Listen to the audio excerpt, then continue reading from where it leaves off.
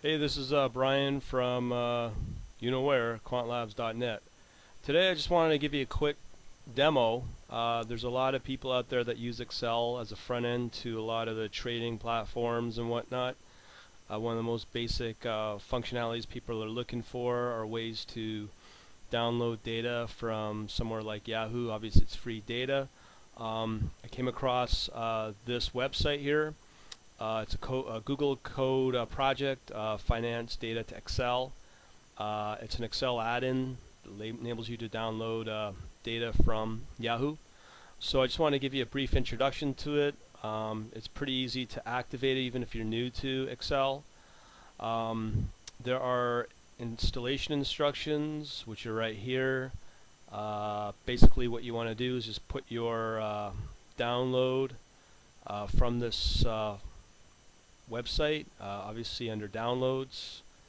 It is a uh, Excel XLA file, so you just want to in insert that file or drop it into your add-ins under your in installation, uh, and then to use it, uh, basically I'll show you how to do that right now. There's two steps.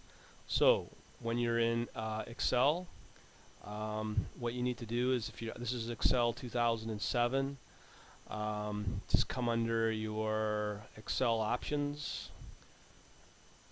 Uh, and then you'll have your add-ins. Uh, under here you have inactive application application add-ins. So uh, traditionally on startup your uh, finance data to Excel add-in will be in this list but you need to activate it um, or enable it. So you just come under Excel add-ins go and here you get your uh, available add-ins and then you just click on your finance data to Excel as here. Um, and let me just show you something else here. Uh, so obviously your active application add-ins will display in that list like that. Okay so under once you have an add-in that's active um, you'll get this new tab under the uh, ribbon for any active add-ins. So in this case we have Y download, which is the Yahoo data download, uh, and uh, you should be able to do uh, your downloading. So in this case I'll just do a quick demo of get history. Um, and you have a variety of your start date, your frequency, monthly, daily, yearly, or however you want to download. Um, you know, you can put into wherever your cell or cell row or uh, column, uh, and then you can for all your different open, high, low, all that stuff, and just do a download. There you go.